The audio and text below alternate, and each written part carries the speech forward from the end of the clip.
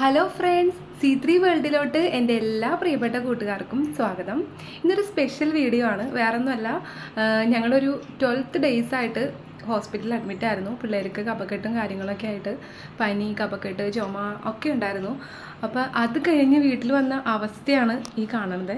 അപ്പം മുറിയൊക്കെ ആകെ വൃത്തികേടായി അലമ്പായിട്ടൊക്കെയാണ് കിടക്കുന്നത് അപ്പം ഇന്നത്തെ ഒരു വീഡിയോ വന്നിട്ട് ഒരു അടക്കി പറക്കൽ സെക്ഷനാണ് ഫുള്ളും അടക്കി പറക്കലാണ്. അതായത് ഞാൻ കാണിച്ചു തരാം.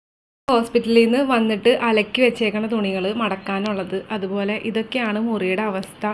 ഫുള്ളും അടക്കി പറക്കേണ്ടി വരും. അതായത് എല്ലാം ആകെ അലങ്കോല. ഇത് മേശയാണ് മേശയുടെ അവസ്ഥ. ഫുൾ അലങ്കോലമാണ്.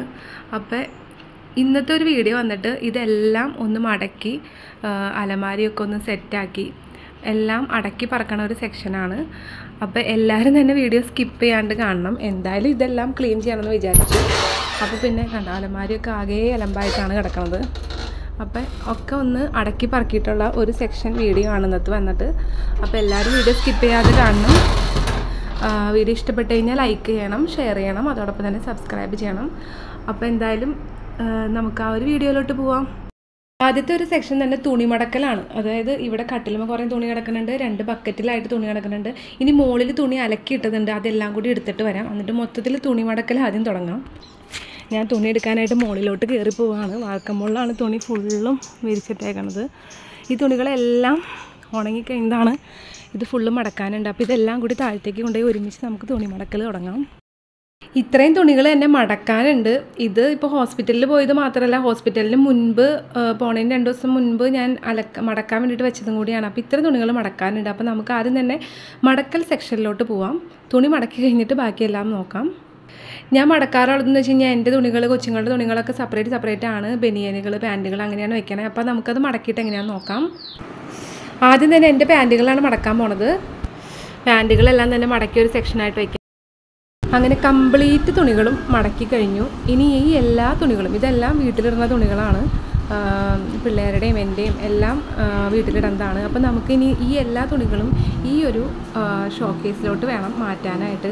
ഈ ഷോക്കേസ് ആണെങ്കിൽ ആകെ വൃത്തിയായിട്ടിരിക്കണേ കാരണം ഹോസ്പിറ്റലിൽ പോകാൻ നേരത്ത് ഓരോ ഡ്രസ്സുകൾ വലിച്ചു വാരി വലിച്ചു വാരി ഇങ്ങനെ ഇരിക്കണം. അപ്പോൾ ആദ്യം തന്നെ ഈ ഒരു ഷോക്കേസ് ഒന്ന് ക്ലീൻ ആക്കിയതിന് ശേഷം ഒന്നും കൂടി ഇതൊന്ന് റീഅറേഞ്ച് ചെയ്തിട്ട് നമുക്ക് ഈ മടക്കി വെച്ച തുണികളൊന്ന് അറേഞ്ച് ചെയ്തിട്ട് ഞാൻ കാണിക്കാം.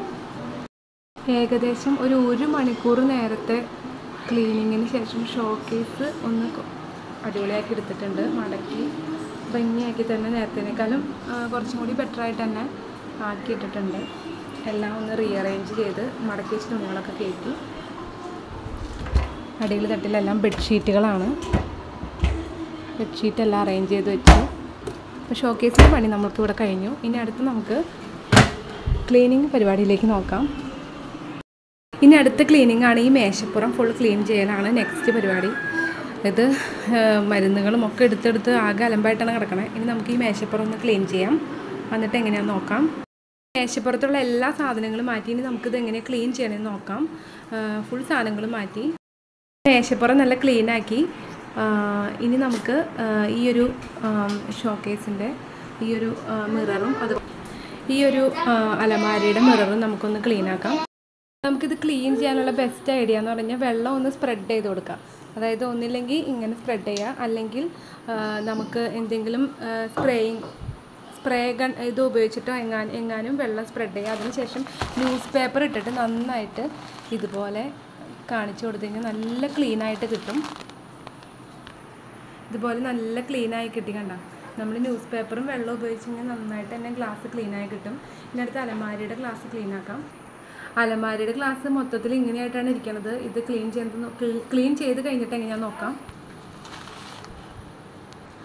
കണ്ടോ ഇപ്പം അല അലമാരിയുടെ ഗ്ലാസ് നല്ല ക്ലീൻ ആയിട്ട് തന്നെ കിട്ടി കണ്ടോ? ഇനി നമുക്കിതിന്റെ ഈ സൈഡൊക്കെ ജസ്റ്റ് നനഞ്ഞ തുണി വെച്ച് തുടയ്ക്കണം.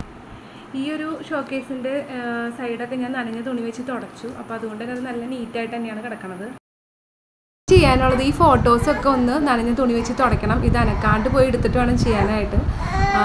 കാരണം നിറച്ചും പൊടിയാണ്. അപ്പോൾ അത് അനക്കാണ്ട് എടുത്ത് പുറത്ത് കൊണ്ടുപോയി നന്നായിട്ട് നനച്ച് തുടച്ചിട്ട് വേണം കയറ്റി വയ്ക്കാൻ ഈ ഫോട്ടോസ് ക്ലീൻ ചെയ്യാൻ വേണ്ടിയിട്ട് ആദ്യം തന്നെ ഈ ഫോട്ടോസ് എല്ലാം ആദ്യം തന്നെ ഫാൻ ഓഫ് ചെയ്യണം. ഇതുമ്പോൾ നിറച്ചും പൊടിയാണ്. എല്ലാം തന്നെ അനക്കാതെ ഈ ഒരു ബക്കറ്റിലോട്ട് ഇട്ട് കൊടുത്ത് പുറത്ത് കൊണ്ടുപോയി നനഞ്ഞ തുണി കൊണ്ട് തുടച്ച് കൊടുക്കാം. അതായിരിക്കും ബെറ്റർ ഈ ഫോ ഈ ഇതുമൊക്കെ നിറച്ച് പൊടിയാണ്. ആദ്യം തന്നെ ഈ കട്ടിലിച്ചിട്ട് നീക്കിയിടണം. കാരണം ബെഡ്ഷീറ്റുമേക്ക് ആവാതിരിക്കാനാണ്. ഇത് ഞങ്ങളുടെ വെഡ്ഡിങ് ഫോട്ടോ ആണ്. ആദ്യം തന്നെ ഇത് തന്നെ ക്ലീൻ ചെയ്യാൻ എടുക്കുക. ഇതെല്ലാം തന്നെ ഈ ബക്കറ്റിലോട്ട് ഇട്ടിട്ട് പുറത്തുകൊണ്ട് ക്ലീൻ ചെയ്യാം. ഫോട്ടോസൊക്കെ ക്ലീൻ ചെയ്ത് ഒന്നുകൂടി അറേഞ്ച് ചെയ്ത് വെച്ചു ഫോട്ടോ സെക്ഷൻ അതുപോലെ ഇവിടുത്തെ അതേ എല്ലാം ക്ലീൻ ചെയ്ത് പൊടിയൊക്കെ മാറ്റി വെച്ചു. ഇനി ഈ അലമാരയുടെ ഉള്ളിലുള്ള തുണികളും കൂടി ഒന്ന് ഫോൾഡ് ചെയ്ത് വെക്കണമെന്നുണ്ട്. പക്ഷേ വീഡിയോ കുറച്ച് ലെങ്ത്തി ആയി പോകും. അതുകൊണ്ട് അതിപ്പോൾ ചെയ്യണില്ല.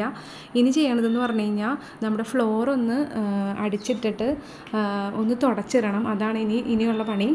അപ്പോൾ അതും കൂടി കഴിഞ്ഞിട്ട് ഫൈനൽ ലുക്ക് കാണിക്കാം. നമുക്ക് ആദ്യം തന്നെ കട്ടിന്റെ അടിയൊക്കെ ഒന്ന് ക്ലീൻ ചെയ്യാം.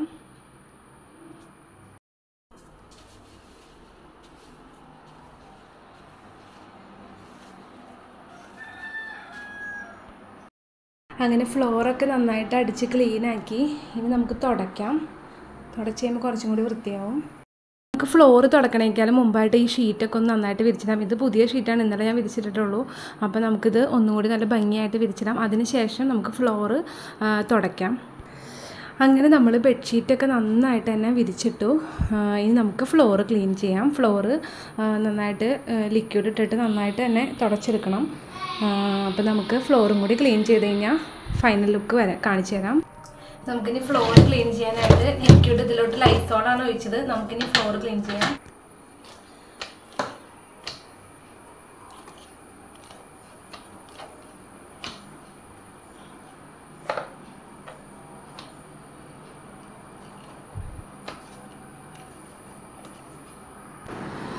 അങ്ങനെ ഫൈനലി നമ്മുടെ റൂമൊക്കെ ക്ലീൻ ആക്കി വെച്ചേക്കാണ്. ഫ്ലോർ ക്ലീൻ ആക്കി. അതുപോലെ ഈ ഒരു മേശ അതുപോലെ ഈ ഒരു ഷോക്കേസ് പിന്നെ ഫുൾ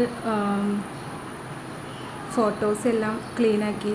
അങ്ങനെ നേരത്തേനേക്കാളും നന്നായിട്ട് ബെറ്ററായിട്ട് തന്നെ ക്ലീൻ ആൻഡ് നീറ്റാക്കി വെച്ചിട്ടുണ്ട്.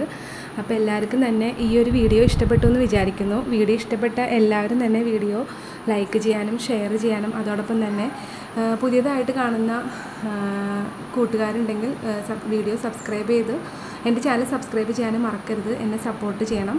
അപ്പോൾ ഇനിയും നല്ല വീഡിയോസായിട്ട് അടുത്തതായിട്ട് വരുന്നതായിരിക്കും. അപ്പോൾ എല്ലാവർക്കും അതുവരേക്കും.